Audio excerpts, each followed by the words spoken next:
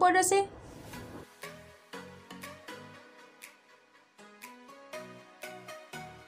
मज़ेदार सी cold coffee की रेसिपी तैयार है। उम्मीद है आज आपको कोल्ड कॉफ़ी की रेसिपी पसंद आई होगी। मिलते हैं अगली रेसिपी के साथ। अल्लाह हाफिज़।